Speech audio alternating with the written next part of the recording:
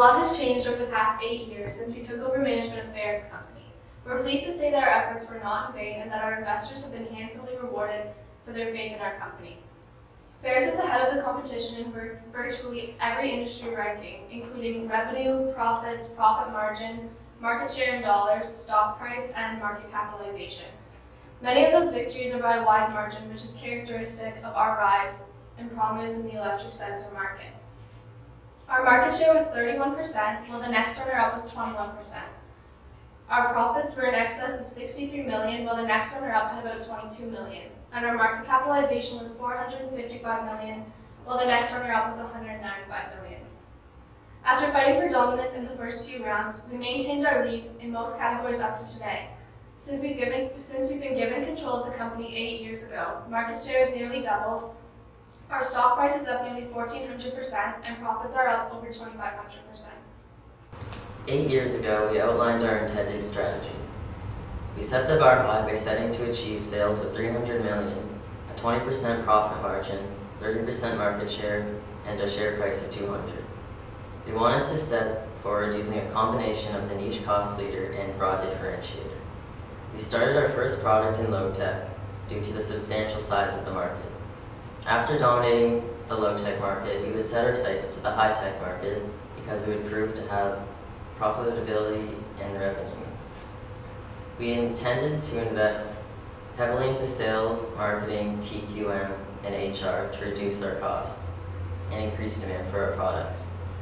We proposed significant stock and debt issuance to finance our growth, which we thought other companies would be reluctant to do.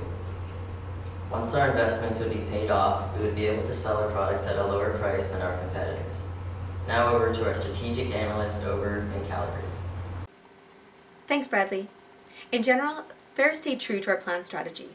The predictions we made eight years ago were reasonably accurate and ultimately placed Ferris as the dominant player in the electrical sensor space. As planned, we took great care to position our products to meet and exceed customer needs, receiving high customer satisfaction in both the high and low-tech segments.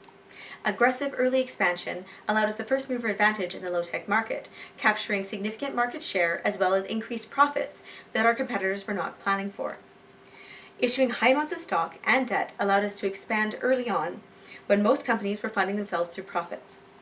Although our early predictions overestimated the value of the market in 2025, in terms of sales and stock price, we still ended up highly profitable, far more than any of our competitors.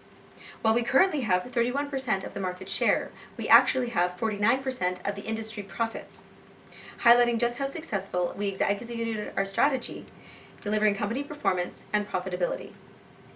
The biggest issue that we encountered was inaccurate sales forecasting, which frequently led to products either stocking out or failing to sell enough units to cover our expenditures. We learned a lot from our experiences and will pass on our knowledge to the incoming management team.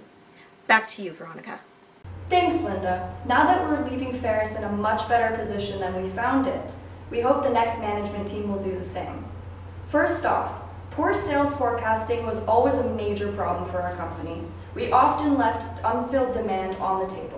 To fix fulfillment issues once and for all, we advise that additional capacity be added and that at least 60 days of inventory should be produced in excess of predicted sales. Second, the new management team should develop two new cutting-edge products, one for low-tech, one for high-tech.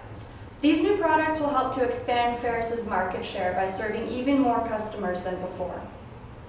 Thirdly, the new team should review lowering automation slightly to improve the speed of product repositioning in high-tech which must happen frequently in order to maintain competitive advantage. Finally, we have asked the incoming team to conduct a thorough review of all of our competitors to determine a target for acquisition. We expect that the field will become more crowded as our competitors launch more products and invest in lowering production costs. Andrews is our favorite target, as it is our largest and most profitable competitor. We've learned a lot from our time working on Capsim, which has really hammered home the concepts and theories taught in class. Here are some of the more important lessons we've learned. Early strategic planning is key to long-term growth and profitability. Because business growth compounds, the earlier you start working on expansion, the better. Next, leverage is a powerful tool to help a company grow. This was an integral part of our business strategy, which helped us gain an edge in the early rounds of CAPSIM to increase production capacity and capture early market share. Another lesson is that financial statements can tell a lot about a company.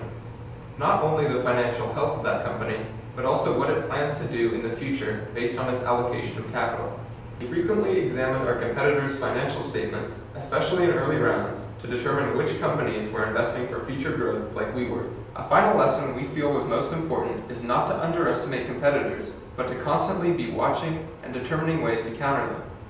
We learned this the hard way in round 5, when we were forced to take an emergency loan after underestimating Baldwin's turnaround effort. CAPSIM proved to be an invaluable learning tool, which we feel has prepared us well for future endeavors in business. Thank you.